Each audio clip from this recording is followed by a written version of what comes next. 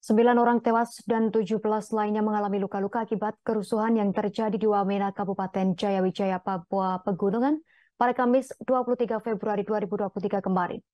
Kerusuhan tersebut tepatnya terjadi di Kampung Sapalek, Jalan Trans Irian Wamena.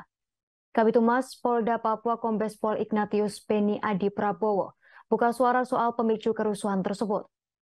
Ia menyebut kericuan dipicu oleh isu penculikan anak yang hingga kini belum jelas kebenarannya.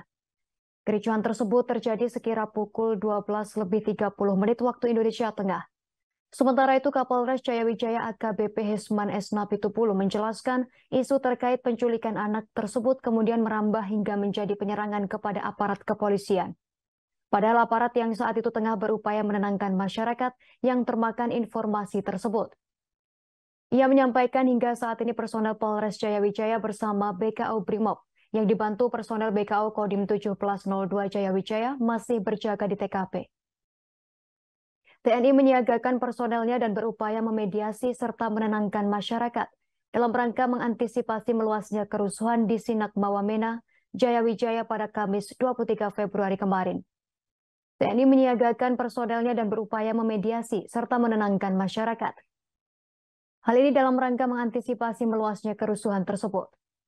Dan Rem 172 PWY Brigjen TNI JO Simbiring mengatakan kerusuhan tersebut berawal dari adanya isu yang berkembang di masyarakat Sinak Mawamena, Kabupaten Jayawijaya, bahwa telah tersiar isu penculikan anak orang asli Papua atau OAP.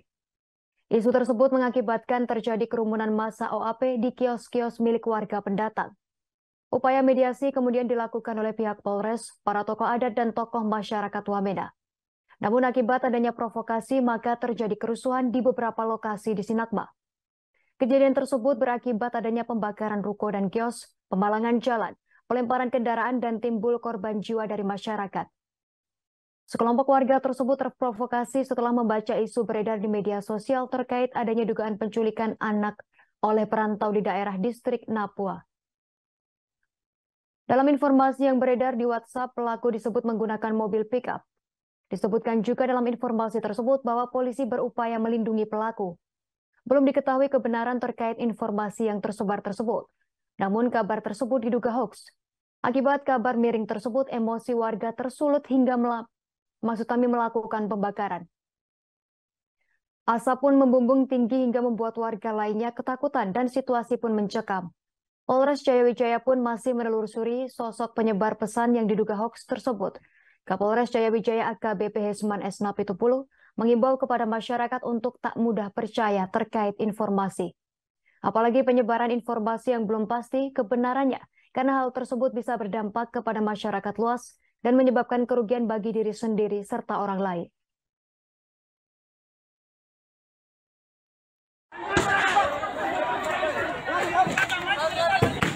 Cepat, cepat, cepat, cepat. Lari, lari, lari, panah, panah, lari. Lari, lari, naik di mobil, naik di mobil. Sabar, sabar, sabar. Mama jalan saya. Terima kasih sudah nonton. Jangan lupa like, subscribe, dan share ya.